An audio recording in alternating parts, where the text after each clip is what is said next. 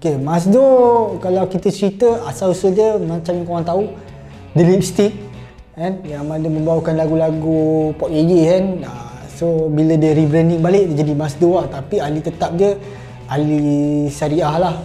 And then dia membawa Asmawi and uh, lepas tu dia punya drama dia pun Ambop Zila daripada hujan kan?